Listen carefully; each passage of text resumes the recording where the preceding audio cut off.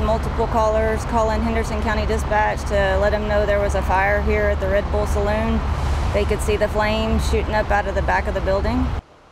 It appears that it originated in the back near the kitchen area, from what we can tell, but that'll be determined by the fire marshal. Uh, total loss. Everything in there is either smoke damage or water damage or fire damage. But everybody's devastated. This is uh, this is several people's livelihoods. They're they're ruined. I, my equipment's gone, and it's gonna be rough.